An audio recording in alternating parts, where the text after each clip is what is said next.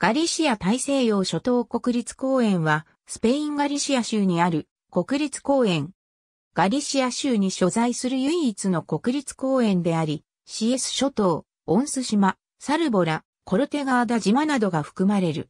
海洋以外の面積は1200ヘクタールであり、海洋部分の面積は7200ヘクタールである。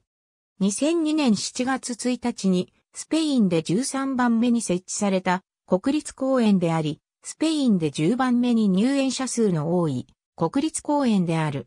ガリシア地方沖の島々には、鉄器時代以降に人類が居住していた痕跡があり、ローマ時代以降の陶器が出土している。中世には様々な修道会によって島々が占領され、教会によって土地が所有された。18世紀まで居住者があったが、海賊行為の頻発が理由で、住民は島々を放棄した。1980年には CS 諸島に自然公園が設置され、CS 諸島は欧州連合による鳥類特別保護地域にもなった。2002年6月13日、ガリシア州議会とスペイン国会の承認を受けて、ガリシア大西洋諸島国立公園が設置された。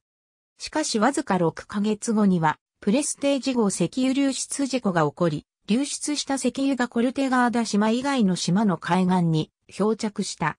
この地域の諸島には、商用樹林が生育しており、さらに200種以上の海藻が生育している。浜辺では、貝類、サンゴ、イソギンチャクなどが目立っている。野生生物としてはカモメ、ウミウ、ウミガラス、ウミバとイルカなどを見ることができる。ありがとうございます。